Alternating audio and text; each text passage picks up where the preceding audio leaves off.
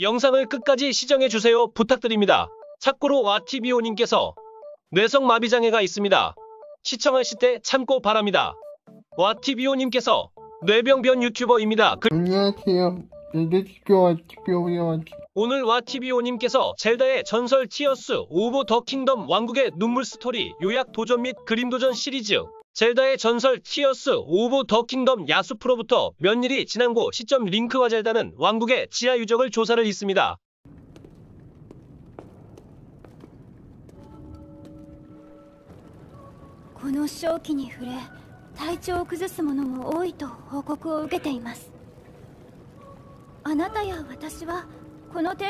링크와 젤다는 왕국의 지하 유적을 계속해서 조사를 했습니다.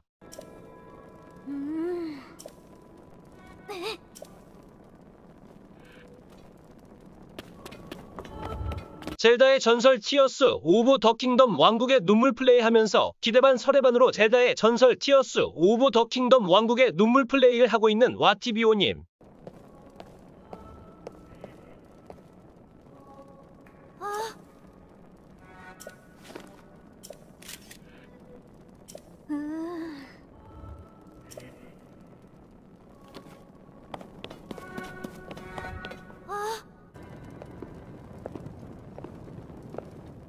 れは。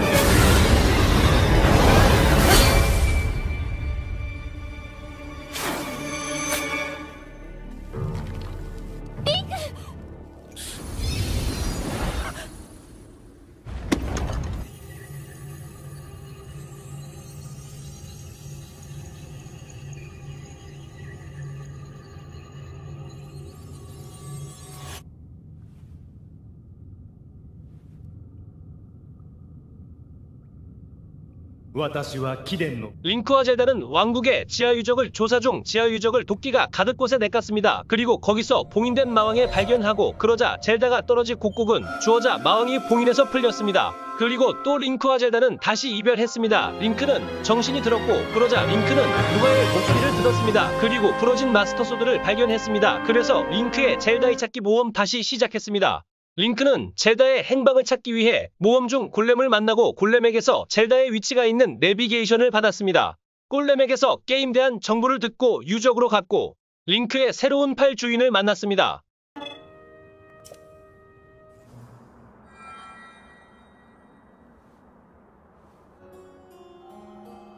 先ほど話をした者その右腕の元の持ち主 신전의 수수께끼 풀고 미션 완료했습니다. 아이템을 얻습니다.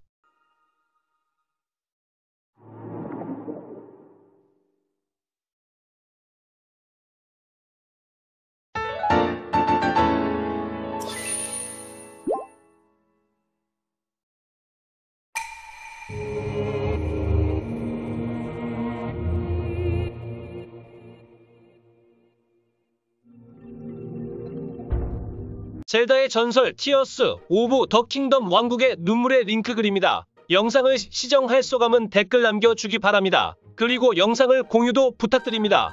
여기서 마치겠습니다. 시청해주셔서 감사합니다.